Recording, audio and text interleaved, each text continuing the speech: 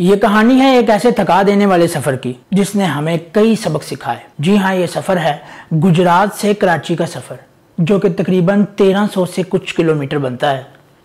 करीब आइए, ये कोई इतना ज़्यादा लंबा सफ़र नहीं है, बल्कि बहुत ज़्यादा लंबा सफ़र है। जी हाँ एक ऐसा शहर, जिसे रोशनियों का शहर कहा जाता है, जहाँ पे पानी के समंदर के साथ साथ इंसानों का समंदर भी रहता है। तो वीडियो को एंड तक देखिएगा आई होप आपको मज़ा आएगा और चलें चलते हैं अपने टाइटल की तरफ़। आज हम फ़र्स्ट टाइम ट्रैवल व्लॉग बना रहे हैं गुजरात जहाँ से मैं रहता हूँ वहाँ से कराची। आ, हम लोग ट्रैवल कर रहे हैं तो ये हमारा फ़र्स्ट ट्रैवल व्लॉग है और हम आपको लेके चलेंगे। कराची पहली टाइम मैं नहीं जा रहा मैं पहले भी काफ़ी दफ़ा जा चुका हूँ बाय एयर भी बाय ट्रेन भी बट फ़र्स्ट टाइम मैं बाय रोड जो है वो हम ट्रैवल करने वाले हैं। तो मैंने सोचा क्यों ना आपको भी साथ लेके चलें।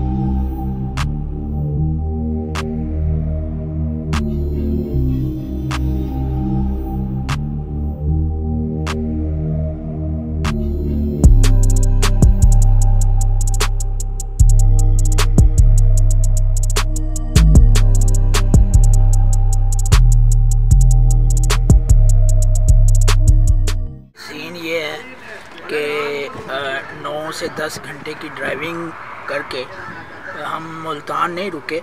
हमारा दिल है कि जी सीधा हम कराची जाएँ और थोड़ा बीच में रुक रुक के चाय वगैरह हम ले लेके थोड़ा सा आराम करके दो घंटा के बाद दस पाँच मिनट के लिए। तो अभी हम लोग पहुँच चुके हैं रहीम यार ख़ान और यहाँ पे सुबह के आठ, साढ़े आठ बज रहे हैं। यहाँ पे नाश्ता करेंगे। इसके बाद जो है इंशाल्लाह कराची की तरफ़ हम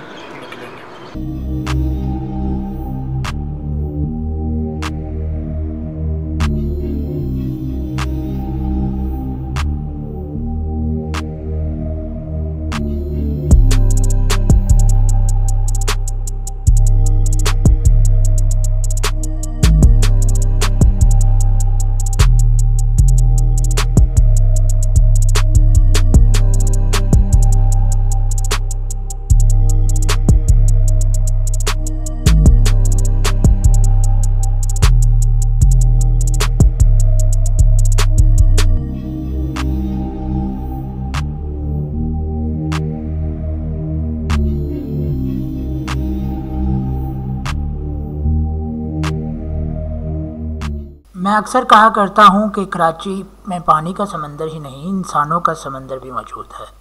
कराची एक ऐसा शहर है जो आए रोज़ इंसानों को अपने अंदर समाये चले जा रहा है।